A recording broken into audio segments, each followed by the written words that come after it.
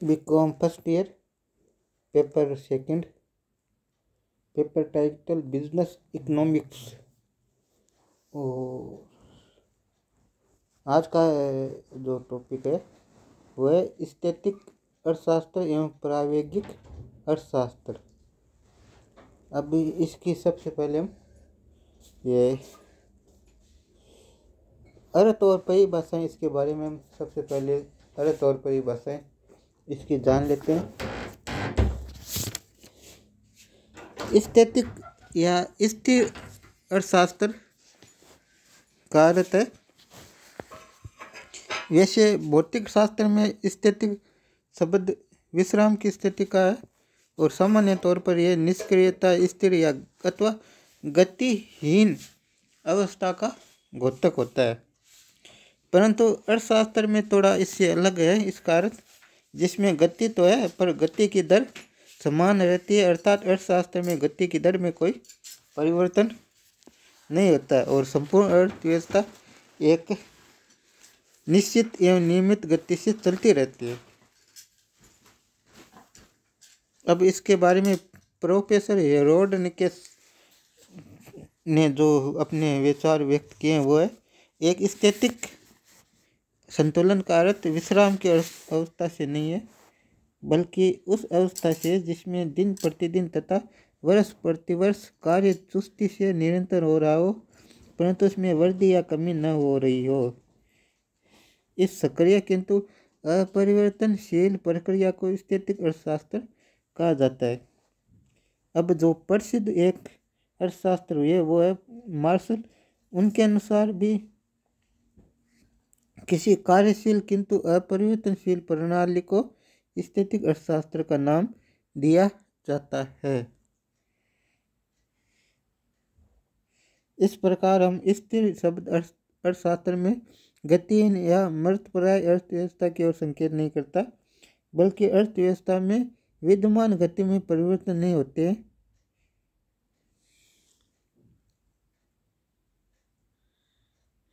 तो संक्षिप्त अर्थ में यही है, इसका अर्थ है, उस अर्थव्यवस्था से लगाया जाता है, जिसमें आर्थिक क्रियाएँ सदैव समान गति से नियमित एवं शांतिपूर्ण ढंग से चलती रहने के बावजूद भी संतुलन की स्थिति यथावत बनी रहती है।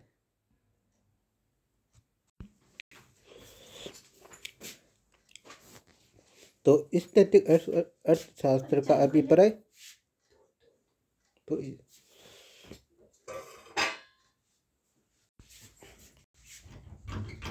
तो स्थैतिक अर्थव्यवस्था का या अर्थशास्त्र का अभिप्राय उस उस अर्थव्यवस्था से लगाया जाता है।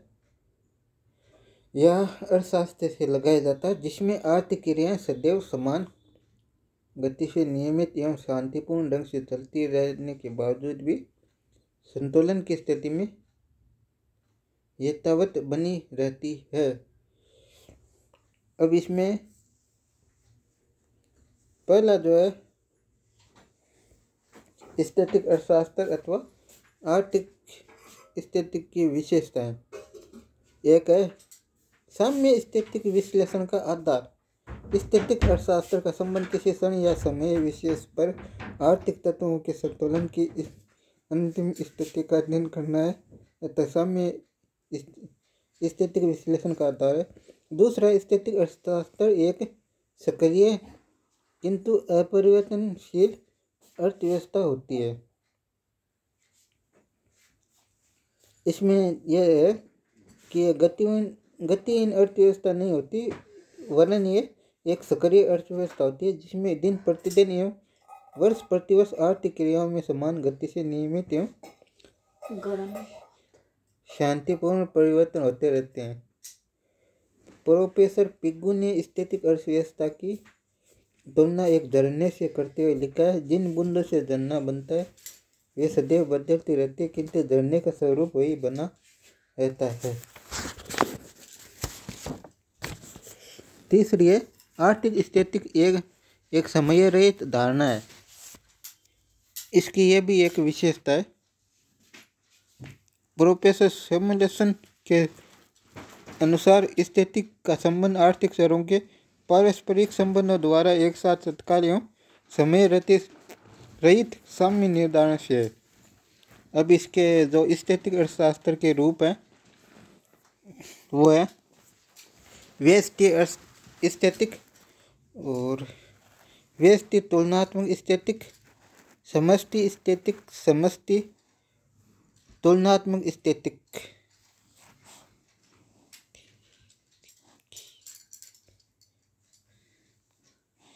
तो इस प्रकार इसके चार रूप हैं।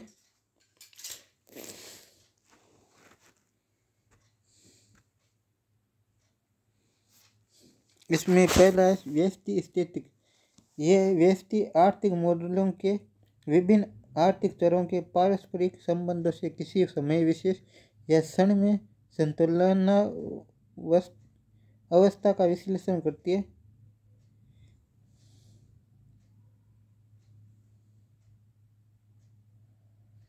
और दूसरा जो है, व्यष्टि तुलनात्मक स्थितिक।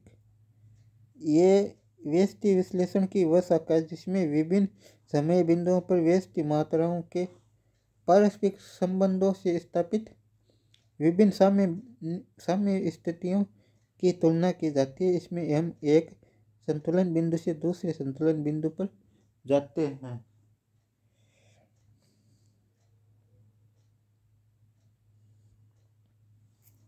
अब जो तीसरा वो है स्थिति।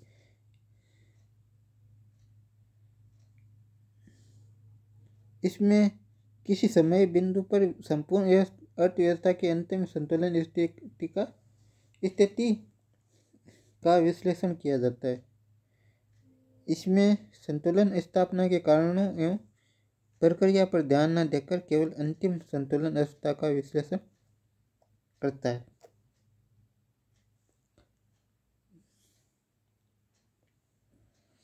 अब चौथा है समष्टि तुलनात्मक स्थिति यह समष्टि विश्लेषण की वह शाखा है जिसमें अंतर्गत समष्टि चरों में परिवर्तन के परिणाम स्वरूप स्थापित दो अलग अलग संतुलन अवस्थाओं की तुलना की जाती है।